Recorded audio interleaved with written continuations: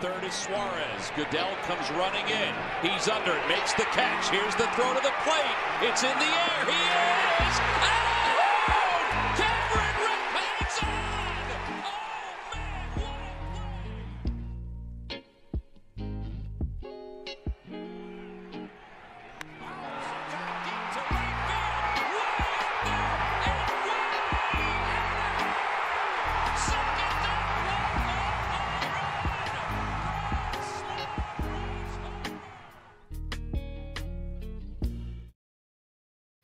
And welcome back to the Stupid Money Podcast. We get to do a uh, a Stupid Money episode because the Phillies opened up the checkbook for Aaron Nola. Um, I we'll, we'll get into this a little more. I I think the timing is kind kind of interesting, but uh, th- this comes about on Sunday. Uh, what right before noon, I believe this broke. In the morning Mhm. hours, there were some tweets that went out that they re-engaged in talks and usually when everyone starts tweeting that stuff it usually means something is kind of on the horizon coming. Everyone's just trying to drop a little hint out there. And they're getting kind of obvious honestly as the morning went on. But seven years 172 million for the 30 year old who i believe turns 31 during the season or by the time the season starts something uh, along those lines. So uh kind of the back half of Aaron Nola's career here, but he's now on track to be the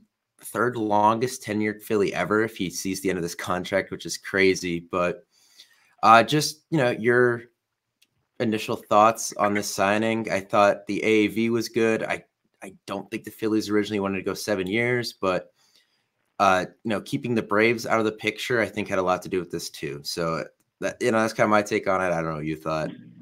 Yeah, I obviously loved the uh, the AAV uh, for what kind of Aaron Nola's value is. I think on Spotrac he's kind of slotted at 31.2 million, something along those lines. So kind of getting him for that AAV of 24 million is somewhat of a steal for that caliber of an arm. Even kind of looking at the last year that he had, I think if you take away the end of the season more so and those adjustments that they kind of made down the stretch and especially in the postseason. Like you kind of know what you're getting with Aaron Nola. I think he's tied with Gerrit Cole in terms of the most 180 inning seasons going back to maybe the last four or five years. Like the guy just eats up innings.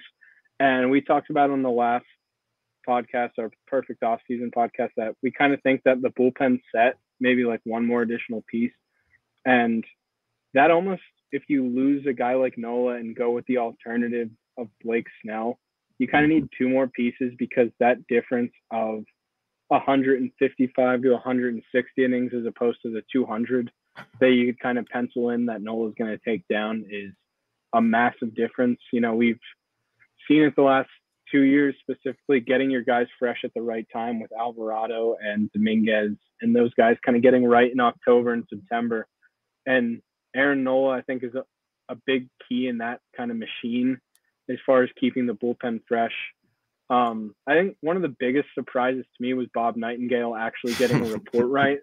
I think we've there's kind of been the ongoing joke the last four or five years in the, the baseball circle of Bob Nightingale getting everything wrong, going back Yeah. to pretty much everything. So just seeing him being the first one on the scene, kind of reporting that the talks had heated up, and then it actually coming to fruition was pretty funny. Maybe it's Bob's off season, you never know. but yeah, overall, I think it was. I was really happy when it happened. Um, I know we both kind of didn't expect it, going back to what we said in the off season, but Yeah. it makes sense. Um, you don't have to lose a draft pick like you would have signing Sonny Gray. Obviously, you don't get that fourth round pick if you went elsewhere, but I think this prime window for your guys is kind of the next half decade at most, somewhere in that three to five year hotspot. So, like, you kind of have to obviously you want the farm system to build up so we don't go into another 2010 type of hmm drought that we did, but at, at some point you got to prioritize winning and giving a guy seven years and worrying about what 2030 looks like when 2030 comes when you have this kind of capital put into the roster is perfectly fine by me. Yeah, uh, I have a couple thoughts. One, I was waiting for uh, Jon Heyman to give a uh, Aaron Nola tweet like he screwed up Judge last year. But I, you know, you talked about the years thing, and you know, we'll get to 2030 when we get there. There, there's a lot more pressure on this team to win a World Series now because, uh, you know, Bryce Harper, and we're gonna get into Bryce Harper because some interesting stuff came up with him today, actually. But you know, Bryce Harper, Trea Turner, these guys are gonna be here till they're pretty much 40. Now you have Nola, who's gonna be here till he's 37, 38 as a pitcher. There's talk about extending Zack Wheeler. That would probably take him until he's 37 or so. The the, the bot the, these last those last years of that stuff is going to be a little ugly. It, it's a lot easier for fans to stomach it with a you know a pennant uh, out in the outfield, a, a red one, you know, or or two. It's it's going to be a lot easier for fans to be okay with a really aging roster that probably looks really bad uh, I you know I doubt all those guys even make it to that point, but the point is, it, the fans will be a little more okay with it if there was some winning that went on beforehand, and you know this is just the price of winning. Which you look at like NFL teams like the Rams and stuff like yeah. sometimes the price of winning can be a little ugly, but you don't trade it because the goal is pretty much to win in the moment, and that, that's what they're doing. But I'll know a little more. Uh, so he kind of corrected. You talked about this. Corrected a lot of things in the postseason, obviously the sample size is a lot smaller, but four starts, 23 innings, a 2.35 ERA, a whip under one. The whip was never really been a thing with a problem with him, but uh, the ERA, I mean, we're talking a two run difference from the regular season.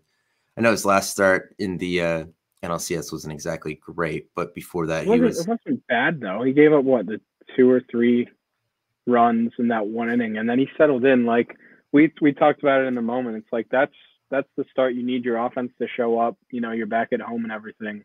Mm-hmm. Like five five innings, three runs. Like obviously that's not, you know, your your number one kind of level guy. What you expect from him, but at the same time, like that's a pretty good postseason start. Yeah, and since 2018, I'm not sure if he's missed a start because 2018 33 starts, 2019 34 starts. 2020, a 60 game season, 12 starts. So, you know, five times 12 is 60. So I don't think he missed a start yeah. there. 2021, 32. 2022, 32. This past season, 32 starts. So we're we are talking about pretty much the most durable pitcher in baseball right now. You know, the flip side is always, you know, he's logged all these innings, like injuries could happen. Um, you know, he's due for an injury. You could say that stuff. Or, you know, the flip side is he's just a really healthy person. And, you know, that some of those problems he had early in his career was getting shut down in September, those first couple years. I think that stuff's behind him. So uh good to see that. And kind of my last point on this is a- after it came out that Rhys Hoskins, or I guess Bryce Harper was moving to first base and Rhys Hoskins wasn't coming back. I, I had a hard time seeing them part with both Hoskins and Nola in the same offseason. I mean, these were kind of the two cornerstone guys that you developed yourself to brought up that you brought up and kind of the first glimmer of hope before Bryce Harper got here, before JT Realmuto got here, before Zack Wheeler got here. You know, these were kind of the guys that the fans leaned on and got really close to, especially I know Hoskins, that one hurts for a lot of people, but I just I couldn't see them parting with him. You know, a first round draft pick, a guy that's been there doing a lot of good stuff in the community too. I just I, I couldn't see them parting with both. I think it would have been bad with the fan connection, and I think it would have caused some problems in the clubhouse too. Uh, you know, not having either of those guys next season. Yeah, and the a lot of the talk in sports is it's a business. It's a business. You know, don't mm-hmm. take moves personally. But especially in baseball, I feel like it's it's so different and obviously pitchers not as much as position players because we, you know, watch these guys for four hours a night for 162 plus a year. Right. Pitchers not as many, maybe 30 or 40 times. Uh, but like, I mean, Nola made his debut the week they traded Cole Hamels, so like he mm-hmm. wasn't on, he wasn't there for the heyday, obviously. But like he was kind of the last link that we had to those times. Like even Hoskins came up in 2017 or 2018 mm-hmm and he kind of led the offensive charge of what could be some sense of hope. like Nola was there when some guys from that era were still around, so like he kind of is that sentimental link for for some fans, for for a lot of fans, I think. And I mean, he's going to be like you said, the on track to be the third longest tenured Philly. He has a full no trade clause in the contract, no opt out, so it's pretty set that that's going to be the case. But um, yeah. like he already has the third longest opening day streak. I think 2023 was a sixth straight opening day start. I don't know if that's going to be the case in 2024 if they kind of give it to Wheeler, as we've we've seen Wheeler to be a little bit more dominant. But like if it's Nola, I wouldn't be surprised. And mm-hmm. it's like by the by the time it's all said and done, he will have a lot of records here. He's going to go up in the Wall of Fame. Um, it's kind of you, you say it's a business, don't take moves personally, but like at the same time, we've done our fair share of giving Nola a hard time. You know, right. we need him to be better in some instances, but like I feel like that's just a guy that when it when it comes down to it, I think that's a guy that we want on our side. And you know, the the Players Tribune article that he wrote in 2019 is kind of resurfaced a little bit today, and I think the contract, the AAV kind of shows it. They they came to a compromise in the year, and based on what his value is, he took a little bit of a pay cut. So I think he wanted to be here, and I think kind of looking at what happened with Turner this year, I think the the fans will reflect how much Nola means to this organization and the, the team as a whole. And I think he'll definitely have a better season than he did the past year. Yeah, I do too. I also think just I think the contract year and all the new rules implemented, like all thrown at him at once, I think really weighed on him throughout the season. Uh, just the way he got rattled with base runners and stuff, which was kind of unlike him in years past. So, you know, hopefully now the contract situation is set. Um, I know his wife's pregnant too. That probably also played a role in it. You know, I I guess I maybe that'll probably be a problem at times next year. You know, waiting for that to happen, some stress there. But I, I think being comfortable with the rules and having the contract situation behind him is really going to help him next year and going forward. So, you know, that is that is pretty good. But let's take a look at, I guess, guys that will be here, won't be here. I don't know, but this is from uh, Alex Coffey of the uh, Philadelphia Inquirer. A source with direct knowledge of the Phillies' thinking says they are still in on the Japanese star Yamamoto. Nola was their first priority, and now they are looking to bolster pitching depth. Um, so I said in the open that the timing was interesting of the Nola deal, and it's because Yamamoto's 45 day window to what you technically like negotiate with his Japanese team or, or, something. I guess is how that works. But that opens tomorrow, uh, yep. which makes the timing of this very interesting. That the Phillies wanted to get this Nola thing out of the way before you know this became a thing. I, I think that raises some eyebrows for me. That yeah, they actually still are interested in Yamamoto. I just don't know. It, it's not as likely now, obviously, because they're not as inclined to get into a bidding war where some of these teams are. But the thing about him is he's 25, so it's kind of like adding a top prospect in a sense. Like you're mm-hmm. buying a, you know, you're buying a top pitching prospect, and this is a guy that you could pair with Mick or Andrew Painter and maybe Mick Abel, but you know, long after Wheeler and Nola are gone. So I I don't know where you stand on this, but it seems like a no to me. But the fact they're still interested, obviously, is a little interesting.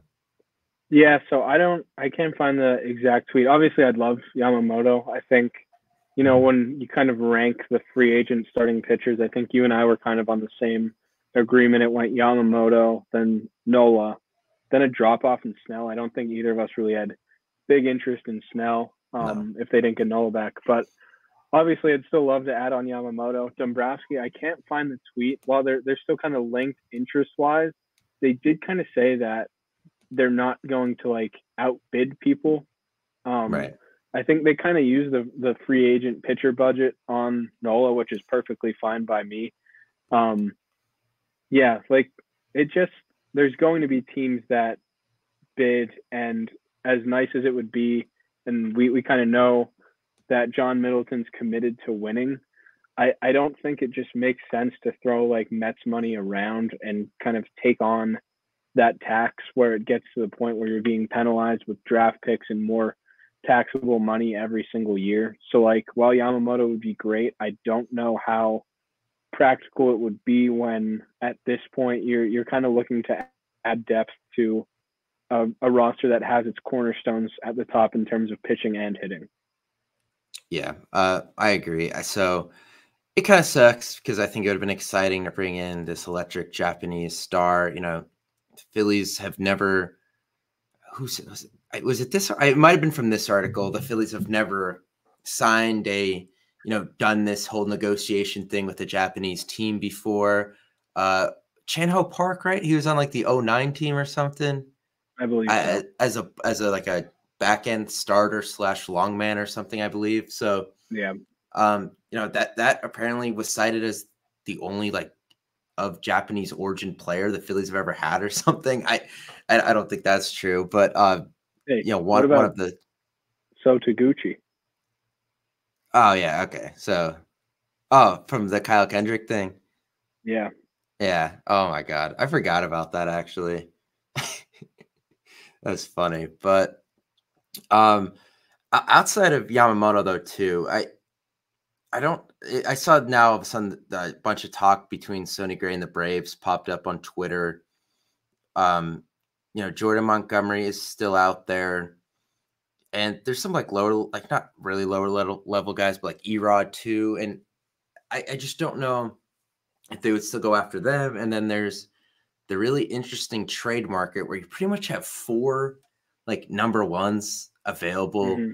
Dylan Cease with the White Sox, Corbin Burnes with the Brewers, Shane Bieber with the Guardians, and Tyler Glasnow with the Rays. So if you wanted to double dip, like this is the obviously the class to do it because there's yeah. so much available in free agency and the trade market. But uh, Coffey kind of made it seem like if they don't get Yamamoto, you're looking at like a Seth Lugo type, you know, like a, a back end slash long man. Um, so mm-hmm.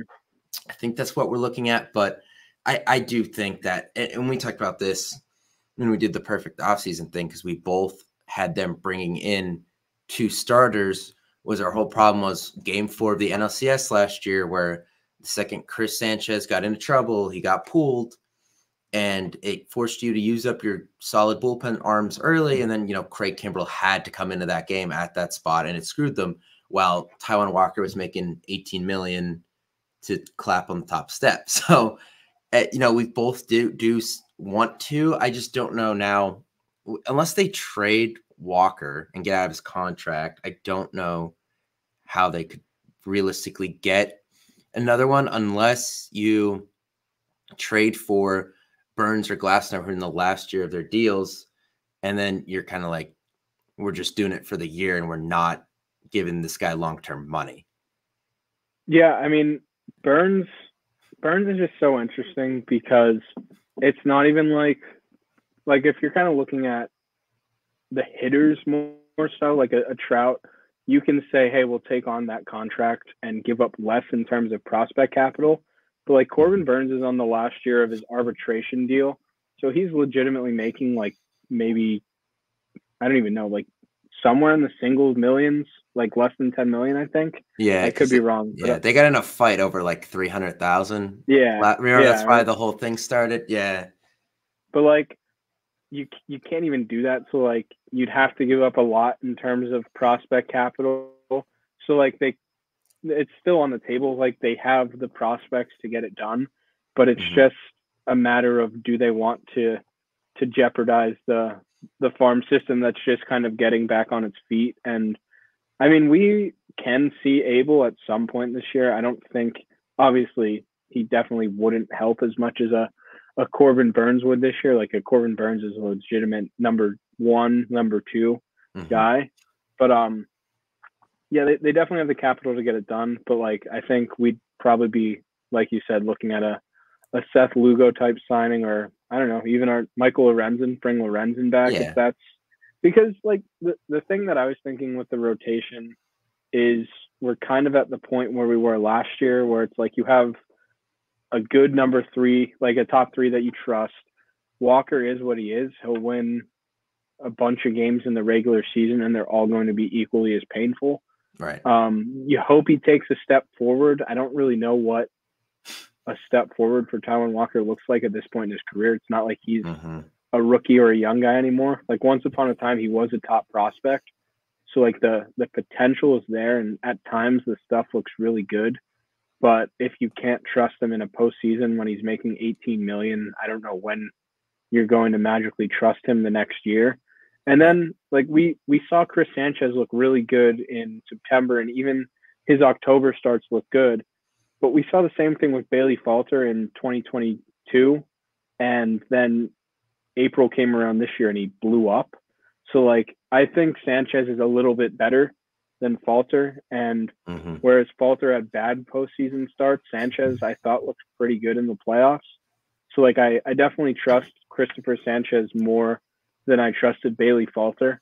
But like you, you do run that risk of the young un, or inexperienced guy kind of blowing up in your face again, and all of a sudden you have four starters, and you're like, yep, Michael Plassmeyer is our AAA depth piece in case stuff hits the fan again, like it did this past year. Right. Um, I so I've, I have like two takes on that. Uh, first one was when they kind of, in my opinion, punted in a sense at the deadline this past year. I I pretty much said like, okay, I'll live with this, but I you now kind of loaded up your farm system. I want you to be more aggressive when the opportunity, you know, comes up. And here is an opportunity for them. I I don't know if they will. I think maybe you cross your fingers. I don't think all four of these guys would all four are getting traded this offseason. I just don't think that's I don't think there's enough landing spots if you also count Yamamoto, Snell, Sonny Gray, Montgomery, Erod, blah blah blah. There's so many guys out there. I don't think all Mhm. 4 get traded. You you know, you could wait around until the deadline uh this this upcoming season and add a Burnes or a Glasnow and the price will go down. And for you it is yes just a 2 month well hopefully a 3 month rental that you're is going to help carry you you know to get a ring kind of like you know the Rangers did with a bunch of guys this year. You know just something like that. I I think that is maybe the most realistic outcome here is that they'll ride with this rotation through July and then when the prospect value of these guys goes down and you're not looking at a long-term financial commitment either where you're just going to you know let the guy walk at the end of the season I, I i think that's kind of the most realistic thing. And honestly i'd be fine with it but i do think that you you probably need another horse out there because braves obviously the lineup's going to be good. They're going to they're going to be back. The dodgers are going to be back and they're definitely going to make some noise this offseason that whole Mhm. thing that came out with they want to sign Ohtani and trade for Trout. I mean, uh, you know, like these teams are going to be loaded on offense. So I think just Uh, the more star pitchers you can have, the better going into the playoffs. and just thinking like kind of this this whole day with Nola, it's it's interesting. Normally, I mean, aside from Ohtani, you can definitely make the case that Aaron Nola is the biggest free agent on the market, Mhm. um, like outside of Ohtani. And the big dominoes never fall first. So I think part of it was, like you mentioned, the Braves were really starting to make some some hot pursuit in terms of them wanting Nola, and it, it makes sense, you know, with Rick Kranitz there and kind of Right. going back and that the connections to Nola's best season of his career, and he's familiar with the division. So I think the Phillies kind of went in to handle that first, and now it's kind of a waiting game. Like, okay, if you're just comparing apples to apples, you have the Phillies with Wheeler, Nola, and Ranger versus the Braves with Strider, Fried, and Morton, I guess.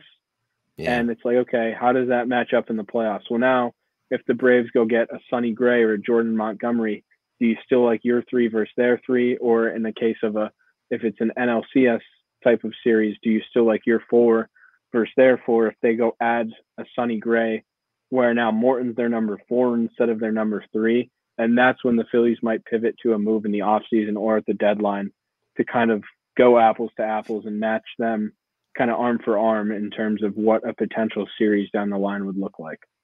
Yeah, definitely.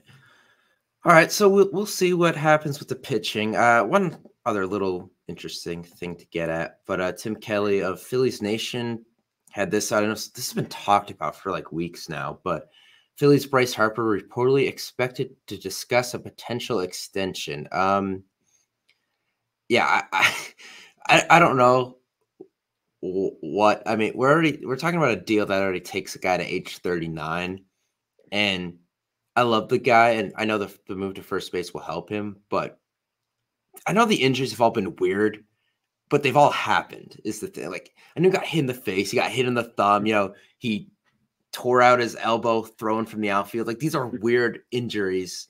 It's not like every time he runs, he pulls up his hamstring or something. But I, I, I just I don't know what the point of this really is. Like we're extend the guy till he's like, it, it, does he think he's like? I just keep thinking Tom Brady. Like, um, he's just gonna play till he's forty five. Like I, if if it's two thousand twenty nine, two thousand thirty uh, you know, towards the end of this deal, and he still is playing like at a high level, then I'd be like, okay, maybe add two more years, and you know, they're probably not as good, but they're at least, you know, he's playable, and hopefully has a couple rings by then, and everyone still loves him. You know, it'll be fun to still have him. I just, I don't really see the huge point uh, to doing this right now.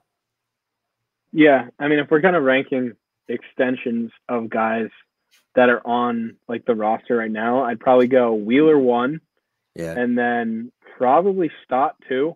Yeah, and then like Marsh, I think, even though yeah, they think I, he's a platoon player. I, I, yeah, like Harper is n- near the bottom of what needs to be done in terms of extensions on this team. Right. Like I get the logic behind it because the the AAV is what goes against the tax so like mm-hmm. I don't know if he if if it's him like oh when that clip of Middleton came out and they're like dude you're underpaid and they're like okay well then pay us more but like the the only logic and this isn't even logical but like the only extensions like hey like Bobby Bonilla and like 15 years and like divert the money to the back half and yeah. like just take the AAV from what's already a steal at what like a little bit over 25 million a yeah, year. It's like 26 and, like, and a half to 27 or something like that. If you're somehow able to like take that down to like 20, but it's like not possible unless you're doing like a an, a 7 year extension for like 15 million. Like you're giving him basically for every year that gets added on, here's an extra 2 million and you're right. like I I don't know. It just it doesn't make sense unless you're somehow moving money around that's basically going to become like a Bobby Bonilla type contract. Because mm-hmm. like like you said, I don't know. Like the injuries aren't lingering. Obviously the the back that occasionally flares up for him is a little bit worrisome, but at the yeah. same time, when he swings as violently as he does every time, like you're gonna have a back issue here and there, and that's fine. Um, but yeah, I just I don't know. It doesn't it doesn't make any sense, but I'm all for having Bryce Harper here until he like doesn't exist anymore. Right. Like I don't want like now that the Vegas team is a thought. I know he's kind of shut those rumors down, but we've all kind of seen how he draws to the Vegas guys, like the the Stotts and the Jeff Hoffmans and the even the Brandon Workmans of the world that, and that Chris, come in from, Kris Bryant even, you know. Yeah, like how how he reps Vegas and how he draws those guys in. So like now that that team is confirmed and going to exist in 2027 or whatever, like I'm all for locking Bryce Harper up for as long as possible and making sure he doesn't go anywhere. Yeah. Um, but it just doesn't make sense in terms of practicality. No. Yeah, I don't know. It feels more and I, I, think the other thing is, I think they they they need to win a World Series or two if they do this because if they yeah. don't win and they're dragging his forty something year old ass out there every day, like it's actually going to piss people off. It, it is. Yeah. Uh, so you, yeah, me. piss you off. Oh, it, it, will piss me off. But um, yeah, I, I would rather this be with you know it, it's a lot easier. And I'm I, like I said earlier, it's a lot easier to stomach these older guys playing not so great baseball if you they've given you a couple praise or something mm-hmm. beforehand. You know. Yeah. So yeah, for sure. I, I just I think, think this kind of the nucleus that they have is off to a great start in doing that. You know, they brought the playoffs back and two NLCS appearances, but kind of like I talked about on the last one, like the time for for good seasons when you make it to like you lose to lesser teams is is over. And it's when you're building this core and signing guys and kind of taking on these longer contracts to lower the money now so you can go sign more guys and build mm-hmm. the complete roster like you have to you have to get to the point where those parades are happening. Yeah. Well we will uh keep you know keep an eye out for anything that happens with i was actually surprised this happened because usually kind of quiet before like right around thanksgiving. They wait for it yeah. to end. Things go crazy with the winter meetings then like you know yeah even when christmas the, the new tweet, year's comes around they shut it down the, again. Yeah. the original tweet today said that like though they're confident they'll get it done before the winter meetings and then all of a sudden it's like well, that was out at 11 o'clock before the winter meetings. I didn't realize that meant a half an hour later. yeah, pretty much. Uh, that is pretty much what happened. But yeah, so uh, we'll keep an eye out, see what the Phillies do. Obviously, the left field spot's technically opened um, for Mike Trout. Yeah, so we're gonna see. I think keep an eye on where Shohei Ohtani goes because I think that no matter what Mike Trout says, that is going to play a factor. And one, if he asks out, or not, and two, where he could potentially end up. So if he asks if he asks out, he's it just makes too much sense for him to come here. But yeah, I mean we we've talked about it, and I, I don't want to drag this on for another 15 minutes, but pretty much the teams that would take him are like the Rangers. You're not going to trade him in in your division. The Dodgers, you don't want to trade him there. You know, the Yankees are the Yankees. No one wants to send their generational player there. Um, you know, in terms of rebuilding. Yeah, in terms of teams that would actually take on the contract you wouldn't have any problem sending him to. He'd be happy there. It's pretty much the Phillies and no one else. Yeah. Maybe the maybe the Red Sox, but that's pretty much it. And they like we've had good trades with them in the last few years. That's true. we actually have traded with them a decent amount. Moniak, they got Moniak and O'Hoppe, two cornerstones for them. Yeah, it, that, you know that's so funny that they made two separate trades with them on like the same day or whatever. That was just weird. But we were we were all so happy after the Marsh for O'Hoppe, and it's like, oh yeah, we didn't get Syndergaard, let's go, and then they got Syndergaard anyway. Yeah, I, again, we're gonna drag this on, but um, I remember just seeing at first like like oh Hoppy to the Angels, and we thought it was for Syndergaard. Yeah. I know my brother and yeah, I we thought were, that we, we were flipping out but yeah, uh, yeah, that, that, that was pretty funny. I didn't really know who Brandon Marsh was at that time, honestly. I just knew his MLB the Show card was sick. Yeah. All right. Well, that's gonna do it for this one. Uh, we will obviously be back if there's anything crazy that drops. I I don't know, like a, a Josh Harrison bench type signing. You will not hear from us. I'm just letting you know right now. But uh, they should bring him back. Yeah, yeah. Hopefully not. Uh, that's gonna do it for this one. We'll see you guys next time.